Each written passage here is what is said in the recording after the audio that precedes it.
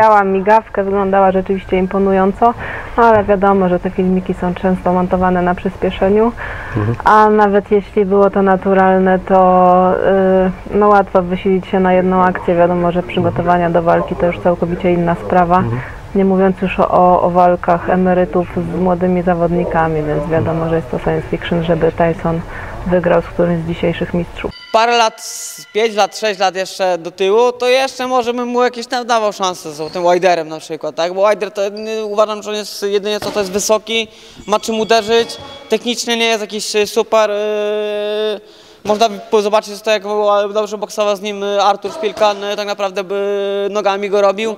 Yy, wiadomo, tam 8-9 runda, no to, to jest boks, to jest chwilanie uwagi, no, a że Wider ma kopyto w łapie, no to Yy, no nie, no nie, nie ma mocnych na, na tą jego prawą rękę tak naprawdę, więc yy, no jestem, byłoby na pewno, byłbym ciekaw yy, parę lat temu, ale myślę, że teraz na przykład no, nie miałby szans tak naprawdę. Nie wiem na ile w stanie jest wykrzesać z siebie siły, yy, oglądam jakieś tam filmiki, no ale to jest, yy, filmiki trwają 30-40 sekund, to nie trwa 3 minuty, to nie jest 6, 6 runda, 6 runda, szósta runda dajmy na to i nie jest na takim yy, gazie na pewno, tak?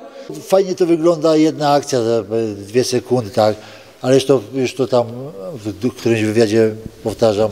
Chciałbym to zobaczyć w szóstej albo w siódmej rundzie, jak zrobisz sześć worków, czy sześć rund tarczy, czy sześć rund sparingu. Po szóstej rundzie tą samą akcję. Ja chciałbym widzieć, jak, jak to wygląda. Myślę, że myślę, że czasu się nie da oszukać, że to, wiesz, ta, ta ta dynamika, ten spryt, e, to pamięć mięśniowa to zostaje, tego się nie da, wiesz, nie da się skasować, wiesz. E, zaczął treningi, widać, że, że, że zaczął treningi, bo, bo gdzieś tam widziałem zdjęcie jego sprzed, tam, nie wiem, dwóch, trzech lat, a teraz widać różnicę, widać dobrze. Myślę, że takie, takie walki pokazowe jak z Holyfieldem, jak z innymi jakimiś tam byłymi mistrzami, myślę, że ludzie, ludzie chętnie by obejrzeli. Ja bym chętnie obejrzał taką, taki pojedynek, ale nie chciałbym go obejrzeć e, w jakimś normalnym pojedynku rankingowym.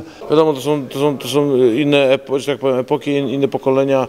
Wierzę, że jeżeli Mike Tyson był w swojej świetności, no to y, mógłby rozjechać Widera. Dzisiaj Wider rozjedzie Tysona, także nie, nie ma co porównywać. No. Dla mnie był kozak e, Tyson w swoich latach, Wider był, jest kozakiem w tych, teraz, w tych czasach, także nie ma co porównywać. Nawet nie chciałbym, żeby takiej walki, do, do takiej walki doszło, bo to troszeczkę jest gdzieś tam u mnie w głowie, w pamięci Mike Tyson.